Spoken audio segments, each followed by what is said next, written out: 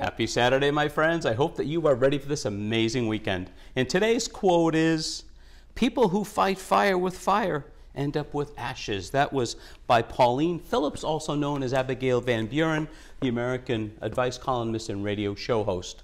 Thank your postman or postwoman today. In this world of technology, it's so easy to forget the good old snail mail. These folks work hard to make sure we receive important communication that is not on a computer screen every single day.